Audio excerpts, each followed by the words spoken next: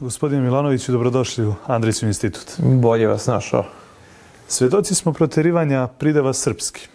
Sad recite mi jedan od, od tih e, primjera i odrednica državljanstva Republike Srbije umesto srpsko.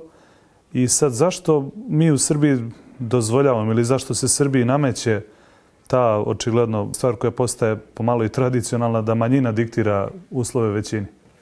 Pa ovo pitanje negde sadrži dobar deo odgovora, a ono što nedostaje zapravo teško je naći racionalno objašnjenje za tu tačku koja nije u, od, u, u pitanju i u odgovoru. Dakle, možda je ovaj posljednji primjer samo najradikalniji ili ne, negde zapravo najogoljeniji, a to je dakle da više ni državljanstvo nije srpsko, mada u svim okolnim zemljama državljanstvo Hrvatsko ili Crnogorsko ili slično.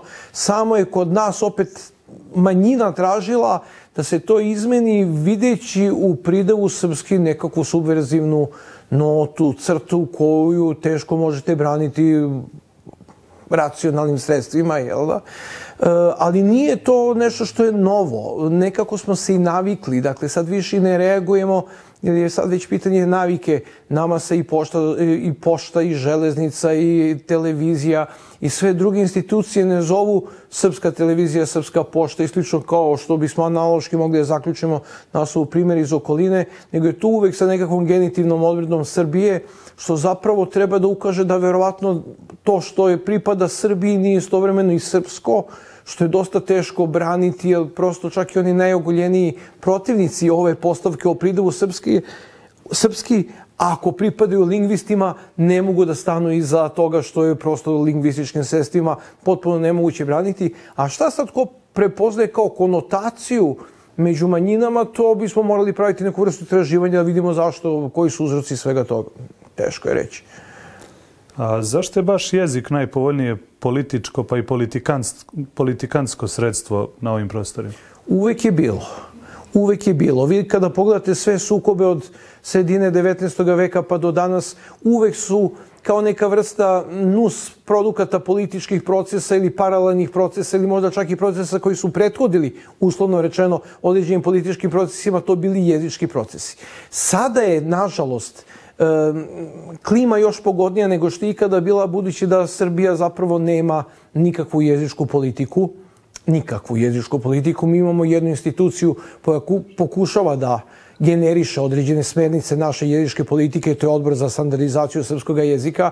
To je međutim stručna, odnosno naučna institucija. Naravno, kada kažemo jezička politika, tu ipak ključna reč politika. Oni segment čitave priče koji zapadu, zapravo spada u domen politike je potpuno gluv, nem i potpuno nezainteresovan za sve ono što mi kao lingvisti kažemo. Kada imate takav odnos države prema e, jezičkim dešavanjima u okviru jedne države, te o kojoj govorimo, onda imate i, pro, jedan proces koji je vrlo vidljiv, a to je da zapravo ne možemo zaštititi prava ni većinskog jezika, ni većinskog pisma, ne možemo jasno definisati pozicije jezika nacionalnih manjina, ne zato što smo nešto nedemokratično ne društvo ili nedemokratična država, već zato što nacionalne manjine osjećaju jednu vrstu um, prostora za dobijanje uh, onih povlastica koje vjerojatno nigde ni u jednoj drugoj državi u Evropi nemaju.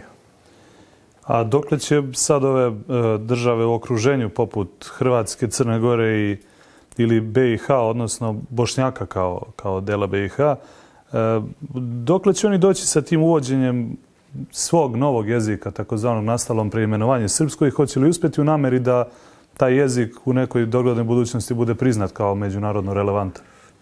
Pitanje je šta znači biti priznat. E, ako govorimo o političkom priznanju, oni su na najboljem mogućem putu E, dosta je čudnovato, za mene šokantno, ali neku vrstu političkog priznanja tih jezika imate čak i u našoj državi gdje su oni zaista de facto podvedeni pod jezike nacionalnih manjina zakonski i na sve druge načine u obrazovni sistem su ušli kao jezici nacionalnih manjina. Drugi je problem tu.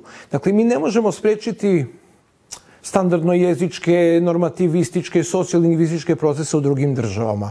Ne možemo ih sprečiti, na njih ne treba nešto posebno ni da utičemo.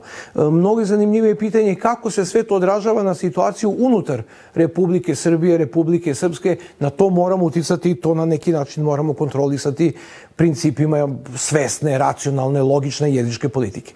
Tu je sad naš veliki problem. Dakle, ono što će biti vrlo direktan odgovor na ovo dosta, ajde kažem, široko pitanje, to bi trebalo da reguliše novi zakon o službenoj upotrebi jezika i pisama.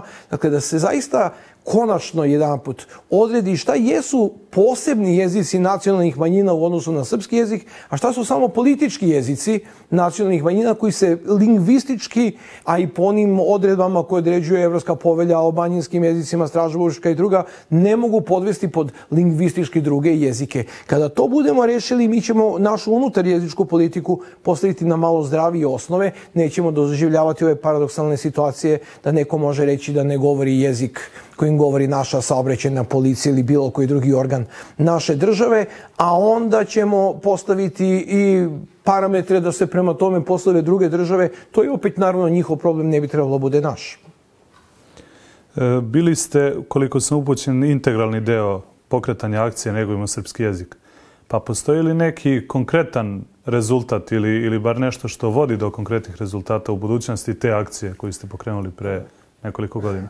Zapravo ni u jednom trenutku nisam bio ništa drugo do simpatizer akcije, ali mi je bilo jako drago da su paralelno vođene dve akcije čak relativno sličnih imena. E, ovo koje je vodilo ministarstvo podpomognuto gradskom bibliotekom, ministarstvima se zvalo Negujmo srpski jezik u politici, dnevnom listu politike, opet napored da išla akcija Sačuvajmo srpski jezik, za jednu sam samo navijao, to je ova nego ima srpski jezik i zaista se nisam u nju mešao kao nekakav autorski deo tima. A u, u ovu akciju Sačuvajmo srpski jezik opet uključivo sam se određenim svojim prilozima. Činjenica međutim da te imperativne sintagme jako lepo zvuče ovako na nivou um, bodrilačkog elementa.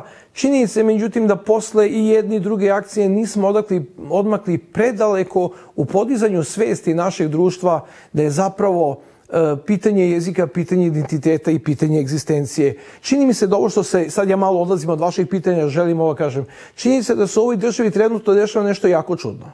E, da vam određene naučne, kulturne institucije kažu ne, ne treba uvoditi e, srpski jezik na fakultete zato što to treba da se radi u osnovnoj školi i u srednjoj školi. Ne pitajući se da li je normalno da Srbija ima apsolutno najmanji broj časova srpskog jezika u čitavoj Evropi i onda kažu pa što to nisu naučili u osnovnoj i srednjoj školi. Kada te iste institucije pitate, a pa daj to da, da povećamo broj časova, kaže ne, ne, ne, to ne treba da se radi. Dakle, vrtimo se jednom čudnovatom e, krugu, čini mi se da je taj krug ocrta negde s polja, dakle ga nismo crtali sami, ali da sami pristajemo na taj krug. Dakle, imamo jednu potpuno nakradnu situaciju, da niko u ovoj državi, osim nekakvih srbista koji se pokazuju na taj način kao neka vrsta neke čudnovate sekte, ne želi da brine o srpskom jeziku i smatruju da je to pitanje nek za nekoga drugog koje taj drugi ne žele ni sami da odrede.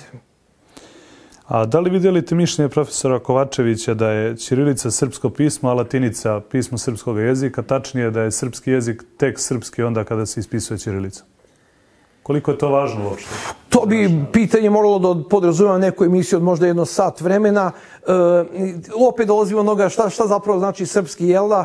E, nesumnjivo je da je Ćirilica apsolutno dominantno srpsko pismo kroz istoriju, jel da, da od onoga trenutka kada smo napustili dvojstvo Ćirilica latinica, govorim dakle ono onom središnjem ovaj, autoputu, da je to naše pismo bilo Ćirilica. Čini se međutim da na tim magistralama naše kulturnog razvoja imamo i latinicu kroz čitavu istoriju, dakle govorimo o onome korpusu e, Slavija Latina, jel, odnosno onom delu srpskoga korpusa koje je pripadao Slaviji Latini, ja to ne bih volao da nekako nestane iz naše kulturne svesti, dakle da smo imali naravno i tu tradiciju koja je stvarana na latinici. To naravno ne znači da je srazmera tog aspekta srpske kulture i onoga dela koji je stvoren ovaj, na Ćirilici morala da uslovi drugačiju proporciju od one koju bih ja volao da imamo danas. A to je dakle da je Ćirilica jedino službeno pismo, da se jako precizno odredi šta je službeno pismo, koje su ingerencije službenog pisma, da se latinica ostavi u jednoj marginalnoj ulozi u kojoj je bila od uvek kada govorimo o razvoju srpske kulture,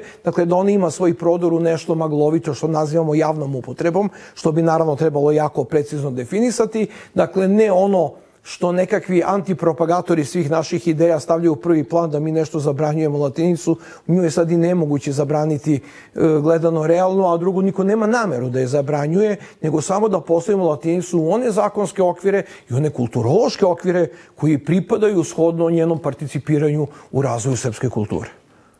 E, Poslednje pitanje koje bih vam postavio jeste šta očekujete, kako će izgledati eto, po tom nekom vašem tumačenju srpski jezik nakon svih ovih internet trendova u tom istom jeziku, skraćivanja samih reči i te nekakve opšte internetiza, internetizacije jezika? Ja ne brinem zbog internetizacije. Ja brinem zbog onoga što sam u jednom uh, trenutku već odgovorio. Ja brinem o činjenici da nikoga ne brine što se broj časova srpskog jezika u stručnim školama pokušava svesti na nulu e, što se u gimnazijama on skreće u sferi statističke greške što su planovi i programi takvi da profesor srpskog jezika mora tumači toliko književnih dela, uspod da pređe kompletnu gramatičku i jezičku strukturu, da on prosto ne stiže. A da niko u državi, računajući naše ministarstvo prosvete, ne vidi u tome problem. Dakle, da jedan uspešan srpski učenik neće uspeti ništa od srpskog jezika da nauči, ne zato ovo moram da podvučem, što su profesori srpskog jezika loši, što su đaci nezainteresovani i brojne druge propagande koje ćete čuti kada o ovom problemu govorimo, nego zato što su planovi i programi pravljeni tako da osakate srpski identitet. Mi nemamo dovoljan broj časova da jedan e, učenik na teritoriji Republike Srbije zavoli srpski jezik, a da ga potom i nauči. To mora ići iz škole, mora ići naravno iz porodice. Na porodicu ne možemo uticati sistemski. Ono na što možemo uticati je sistem obrazovni. Tu, kao što vidite, trenutno imamo poziciju da smo poslednji u Evropi i da to nikome u ovoj državi ne smeta. Hvala vam na vašem vremenu. Hvala i vama.